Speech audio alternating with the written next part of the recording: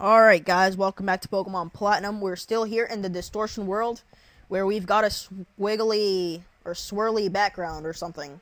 And here's Cynthia, who tells you that the Distortion world is a giant puzzle. Though I really didn't know that. Of course not. So, last episode we helped out Uxie. Oh, that was a squeak. I hate this. I'm getting so many squeaks nowadays. Yeah, last episode we helped out Uxie. This episode we're gonna help out the other two lake thingies. Azelf and Mesprit. And let's start off with Mesprit because he's the closest by. He's actually down over here. There he is, Mesprit, the being of emotion. He's all pink and stuff. Yeah. So, this episode could be a little annoying, mostly because, well, it involves a lot of rock pushing and um, wall and roof scaling. Yeah, we might even get on the roof this episode. So you just basically use strength on the rock and push it in the hole. Just like that other rock that we pushed in hole. Yeah.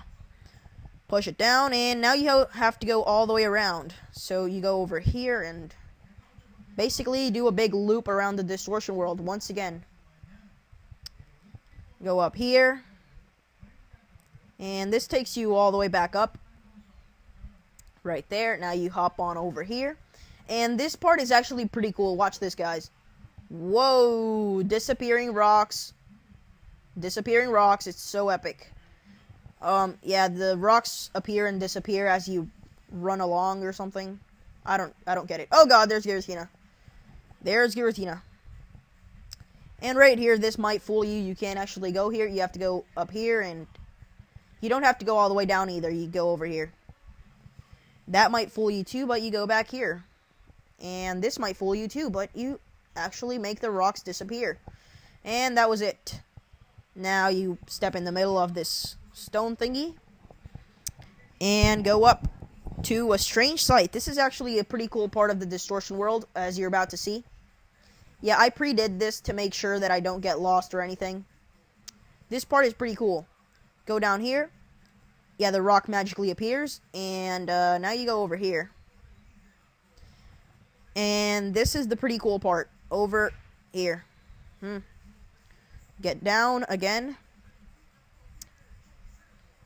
There's Cyrus. Dun dun dun. Cyrus runs away from you, of course.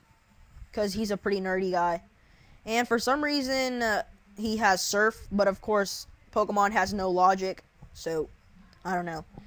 Though he does have a Weavile, and Weaviles learn Surf, if you guys didn't know that. Weaviles do learn surf as a matter of fact. Wait.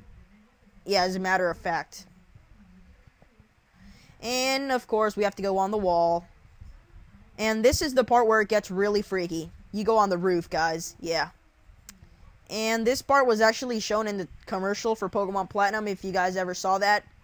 Where you have to scale the waterfall and everything. Yeah. This part was in the commercial. And I realized the waterfall looks a little weird. It's because of um, the NO$GBA 3D rendering thing. Yeah. Um, but I don't know. You guys can see what it really looks like if you have the real platinum. Yeah, so you go down this waterfall. Oh gosh. Graphics.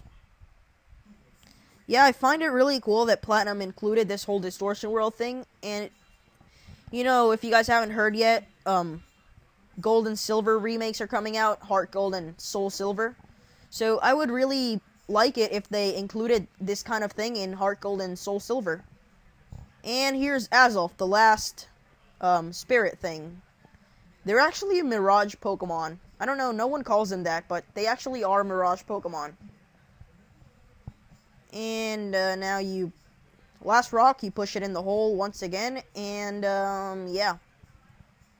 Then we can get back to Cynthia. Cynthia's so hot, I swear. I would marry Cynthia. Yeah, not really. I was just kidding, guys. Seriously though, some people are get too um get way too freaked out about anime characters or something. They're like obsessed with them. So let's help out Azelf here and push the rock in this hole that he's pointing to indirectly, yet still pushing it, um pointing at it. Push it over there and down. And uh, he goes pew. Yeah. It's really epic.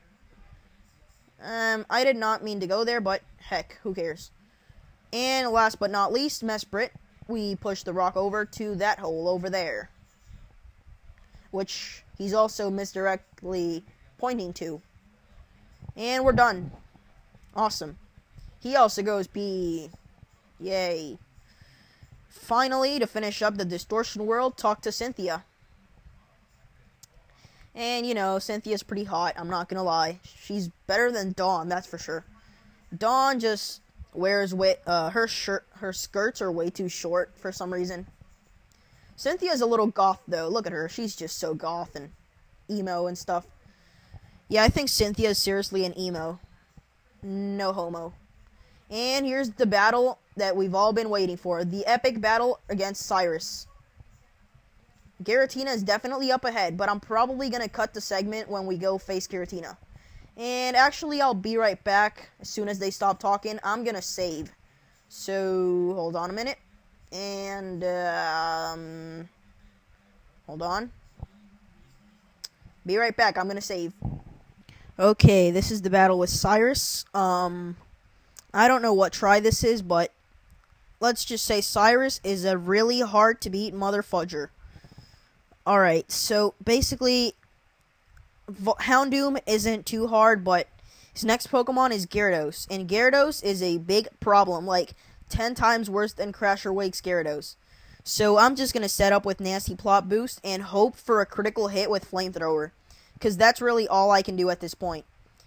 Just hope for a critical hit. If I don't get a critical, I'm pretty much screwed. Alright, so Houndoom's Thunderfang isn't too much of a problem, and um, yeah, I'm to use Flamethrower on Gyarados because, well, Flamethrower is my only special attack. Um, it's my only, not, yeah, Return and Crunch are physical attacks, so they don't do as much damage as Flamethrower. And that makes me sad. Alright, and here's Gyarados, guys. Main problems are Waterfall and Earthquake. If it would use something else, I might survive. But look at how much Flamethrower does. Oh god, thank god I freaking beat it. Holy crap, you guys don't know. Oh god, that makes me so happy. Alright, so basically from now on with those nasty plot boosts, I should be able to take him down pretty easily. Oh god, thank god. You guys don't know how freaked out I was about this. And that is a pretty cool looking Weavile sprite, not gonna lie.